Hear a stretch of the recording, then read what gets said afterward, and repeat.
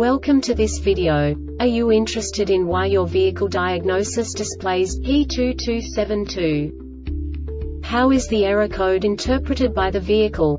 What does P2272 mean, or how to correct this fault?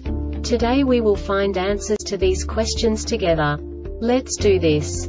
First, let's look at the history of diagnostic fault code composition according to the OBD2 protocol, which is unified for all automakers since 2000. We divide the electric system of automobile into the four basic units. Powertrain, body, chassis, network. This distribution is defined in the first character code.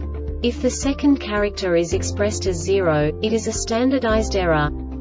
In the case of numbers 1, 2, 3 it is a more prestigious expression of the car-specific error. The third character specifies a subset of errors. The distribution shown is valid only for the standardized DTC code.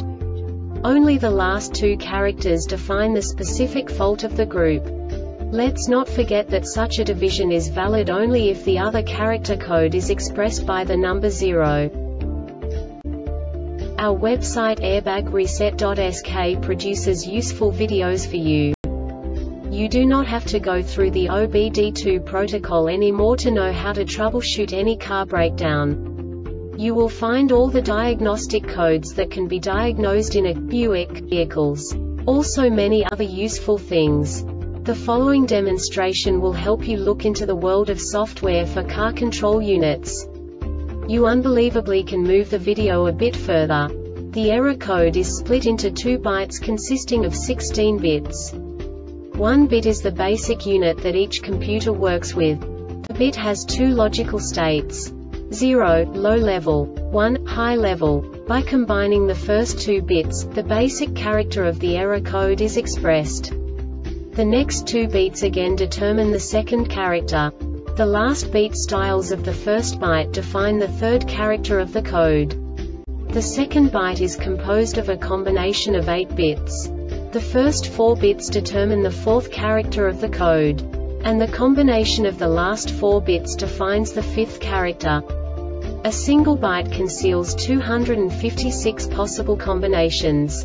We now know in what way the diagnostic tool translates the received information into a more comprehensible format.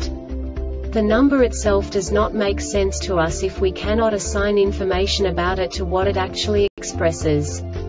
So, what does the diagnostic trouble code P2272 interpret specifically Buick car manufacturers? The basic definition is Lost communication with lateral acceleration sensor module.